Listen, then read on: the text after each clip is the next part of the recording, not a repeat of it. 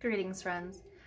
Since the growing season is now in full swing for me, I've got a lot of plants that I've got started and have to get started.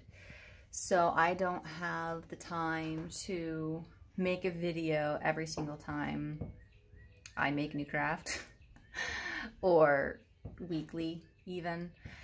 So to save time constraint, that doesn't make sense.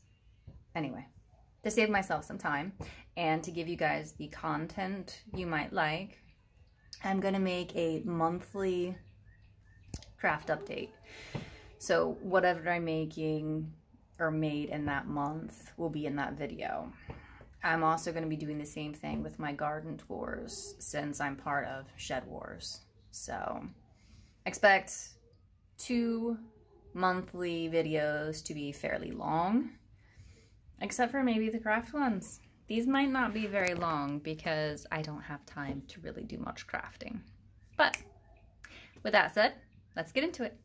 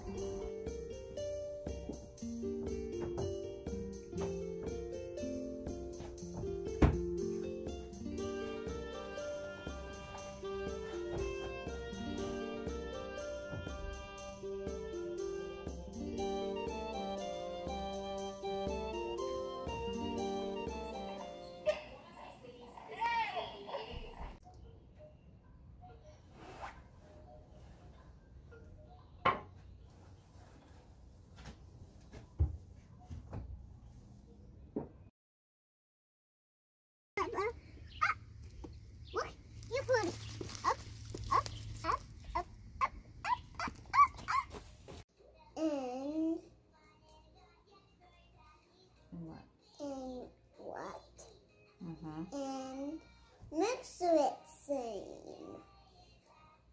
A game. Putting batteries in a game? Mm, yes. Mm, what game? I don't think any of your games take batteries. Right?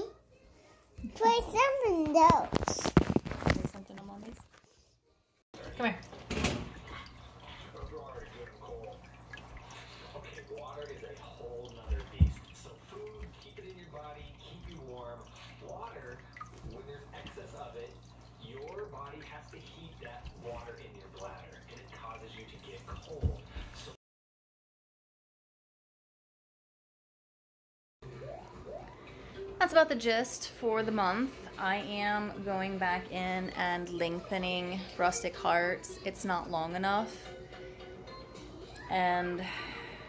I've got a couple patterns that I've got out for test knitting. If anybody's interested in knitting a hat or a sweater for your child or yourself, I've got one called the farmhouse sweater and the little farmhouse sweater